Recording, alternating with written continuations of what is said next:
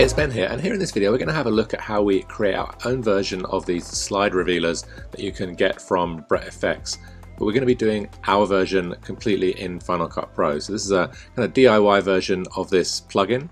We'll be using only the built-in tools inside Final Cut Pro, so you'll be able to see how you can create your own version of this very cool plugin right inside Final Cut Pro, and then compare it to the professional version, which you can find on Brett FX's website. So we're going to jump into Final Cut Pro here, and you can see in here this kind of simplified version of the slide revealers using different layers, different kind of transitions within Final Cut Pro. And this is what we're going to be working on creating. So how to split the video, how to add the background, add this kind of drop shadow effect, and then animate on our type and emojis. So we'll start with a brand new timeline. We'll go to File, New, and Project.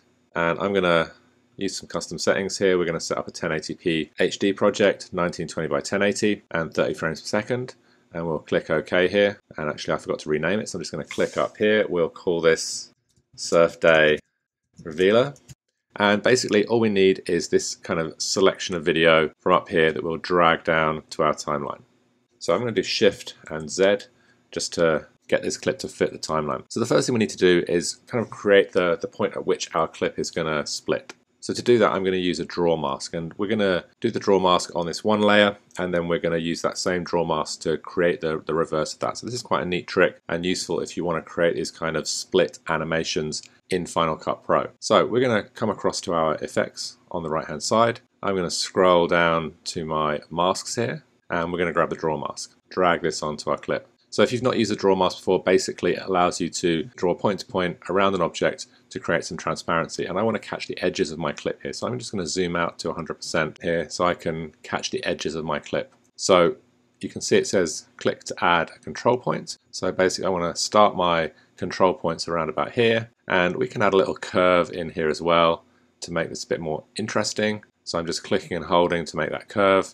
And then I'm going to click away from the edge there and around the bottom. So this is going to be the area that I select for the, the bottom of my clip. And I'm just going to work on these curves a little bit, get them flowing nicely and make sure they're nice and smooth. And obviously we can do a straight line as well, so just one dot on the left and one dot on the right. But this curve will look quite nice. So then I'm going to duplicate my layer. So I'm going to hold down the Option key and we will drag up. And then to create the reverse of this, all I need to do simply is to click on my control points now, if you clicked away from your layers or control points at any point in time, you can access this again. So I'm just going to click away from those control points so they disappear up in my inspector. You can see when I click away from a clip and then click back on, the control points may not necessarily be selected. So if I come up to my inspector, which you can bring up by going to Window, Show in Workspace and Inspector if you don't see it. We're in the Video tab here and all I need to do is highlight my draw mask and that will allow me to come back in to edit the draw mask. So we're on the topmost layer here and I'm just going to pull these two points from the bottom all the way up. So you can see now if I highlight this clip and just tap V, the top clip is this and the bottom clip is this bottom section here. So essentially what we're going to do is we're going to start our video playing and then at some point around about here is nice. We're going to have these clips move apart. So I'm going to set some keyframes for my bottom clip first of all, and you can do this either with the transform controls or using the transform options up in the inspector. We'll do the transform button here first, so the little blue square at the bottom left of our video. And basically what I want to do is add a keyframe. So we'll click the keyframe button up here on the top left, and I'm going to move forward a little bit Okay, and by this point we want our video to have moved down. So I'm going to drag this, drag it down, make sure it stays aligned to the center. So on that yellow line, snapping nicely there. And I'll bring that down. And then I'm going to right click on this layer and just go to show video animation. You can see the two points of animation there. I just want to make sure that when I go to my topmost clip, I'm matching the points of those keyframes. So again, I'm going to come back to the beginning here. We'll snap to those first keyframes. I've got my topmost layer selected and I can this time come across to my transform options in the inspector and we're modifying the position. So I'm going to click on the position. I'll come ahead in time to the same point and this time I'm going to increase the Y position and bring that up making enough space for the text to appear there. So we've modified both of these now. So if we come back, you can see this is going to play through and then split apart at that point in time. Super nice. The next step is to add our background in there. So you can see now when these split apart, we need to have our background ready and in place there. Now normally I'm adding videos above the main storyline, which is where this first clip is, but we can also add videos behind. So I'm going to come to my titles and generators. We'll scroll down to textures and we can pick out a texture from here. So you can see we've got a whole variety of textures that we can use. And I'm going to add the, the pinstripes texture here. We'll drag this down to our timeline. And I'm going to just do Shift and Z and stretch this out so it fills that whole timeline. So you can see now this is going to fit nicely behind that video as this opens up. Perfect backdrop for our text. So now we've got our texture in the background. I want to add the lines in here on the edge of our split. So in order to do that, we're actually going to use another BrettFX plugin. So I'm going to come back to just before they split. So we'll play this and basically I want my lines to fade in around about here. So I'm going to select here and I'm going to grab the blade tool and we're just going to slice it here and here. And essentially the line is going to fade on here. So on my second part of the clip here, I'm going to come to my BrettFX Power Tools. And this is a free part of the BrettFX Power Tools. We're going to add the outline tool here. And you can see it's going to add a nice outline to both the top and bottom here. So you can see now when we play this through, we get our outline pop on, a little jumperly, and then those split apart. So I'm going to zoom in here. We're just going to add a fade transition here. So I'm going to do Command and T. Fade is my default transition. We'll shorten this down and we'll do the same here. It's just going to fade in that line. So you can see now we play this through, the line fades in quickly and then the clip separates. So already we have a nice little animation there. We can stretch out that fade if we want to, just to ease the transition a little bit more. Nice. So now we want to add our text in here. So to add my type in, I'm basically going to use from my titles up here, I'm going to use the build in out options and we're going to scroll up and we're using the, the custom option here, which allows us to do a little bit of text animation as well. So we'll drop this on here and I want to come to when we have these broken apart and it's roughly in this area where the text is going to start to animate on. We can play around with the position of that. So here I'm just basically going to type in my text. So come up to the inspector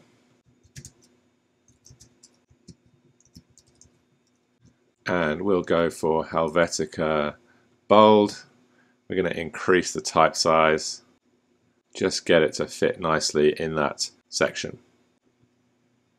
And we'll just rotate it here in the type options as well, just to get it to fit nicely in that spot. So basically we have our type popping up there and I want to get that to animate on. So here in our custom generator we can go to the titles and basically here we can have an in position and in, opacity and that's basically going to set where this animation starts. So I'm going to come back to the beginning here and I'm going to set my in position across here and my in opacity to zero and so now you'll see my text is going to animate on in that space. So you get a nice animation. And we can do it by line as well. So at the moment we're animating each character on.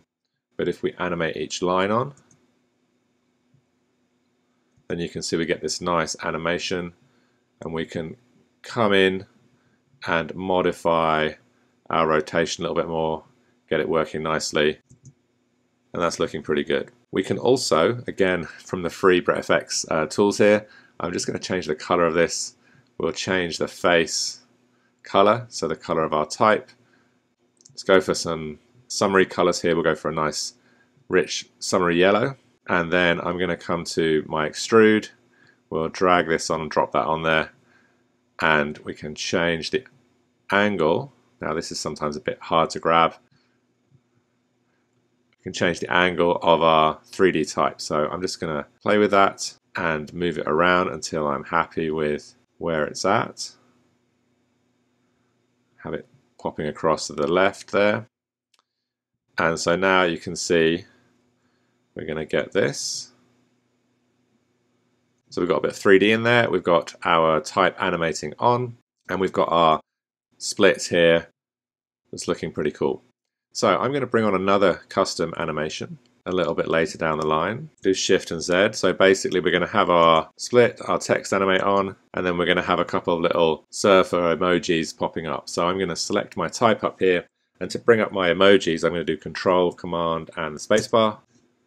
And now we can either search for some surfers, or I've already got them up here. I'm going to double click. It's going to add in a couple of surfers here. And then we can move this across to the right increase the size. And we can animate this as well. So we're still using that custom type generator. So now I can change my in position here. We'll come across to the right. I'm going to change my in position up and across a bit. And my in opacity can go down as well. So now when we play this through will split, our text will come on, and then we'll have these two little surfers popping on as well. And we can stretch this out at the end as well. Once we're at the end, um, we can also have an out animation too. So actually, if we change the out position here, these options at the bottom of our surfers, I'm just going to have our surfers fade out. So you can see they're going to fade out one by one. The opacity will drop and then I will have surfing vacation fade out as well. Let's play this through. We have our split happening, we animate on, we hold for a little bit, and then fade out. So what we can also do, once our type has disappeared, is we can then close up our gap here. So if I grab the blade tool, I'm going to split this here and here. Okay, so I'm going to have my gap close, and then we'll fade out the, the line and go back to just the video. Okay, so in order to do that, I just use B and A to jump between the blade and the selection tool. I'm going to open up my video animation here. Okay, so essentially I want to reverse the position animation for this first line. So under position here, I'm going to lock it in position here We'll come ahead a little bit and then for position I'm just going to type in 0 which is going to bring that bottom line back to the middle. Okay, and I need to reset the position for this next clip. So I'm just going to come into this clip that I've separated and we'll just reset the parameters. Okay, so now if we play this through and we'll fade out our type and surfers before the transition point here. So again, for this next one, I'm going to reset the parameters for this last clip and then right click here. We'll go to video animation. I'm going to go to my position animation, lock it in position there, come ahead in time, type in a zero, and then these will move together. We need to take our surfer back a bit there. And then I'm going to remove from that last clip the outline. And I'm going to remove the outline from here as well. And then using Command and T, once those outlines are removed from the, the end sliced clip, we can add that transition in there so basically this is going to play out now and then fade out. So we'll just play this through from the beginning. So we've got our own slightly simplified version of the Brett FX slide revealers there. And essentially what you can see here is a nice way in which we can create these animations right inside Final Cut Pro. A slightly simplified version of the Brett FX version. If you were wanting to create your own plugin like this, then you'd really want to do it in Apple Motion, but sometimes kind of working with the tools that you already know how to use is useful. So you can see if we jump back to the little preview for the slide revealers here, we're getting a lot of detail in that animation that we haven't necessarily built into our own animation. So things like the subtle drop shadows, and then also these other animated elements which are really nice to be able to include easily when you're using the plugin. But hopefully this will give you a nice overview of the different ways you can think about making these. The one thing we haven't done is actually modified like our little bit of drop shadow in this background area here. So the way that we can do this is once we have our slide revealers on, then we can come to all video and audio. I'm just going to type in drop in the search down here. We'll grab our drop shadow and you can see now we can modify the location of that drop shadow so that it's in the, the background there. We can soften it off. And then also in the inspector, give it a bit of perspective as well. And that will allow us to create the, the drop shadow there. So you can see we can do that on the bottom as well. This time we need to pull it up. We'll give this some perspective too. And then soften that. So you can see we can quite quickly get a nice little bit of drop shadow effect there that's going to help that background to, to stand out nicely. So be sure to check out my review of the Slide Revealers plugin from BrettFX, but also if you have any questions about this technique or other techniques in Final Cut Pro, then please do leave a comment below, and I look forward to seeing you on the next tutorial.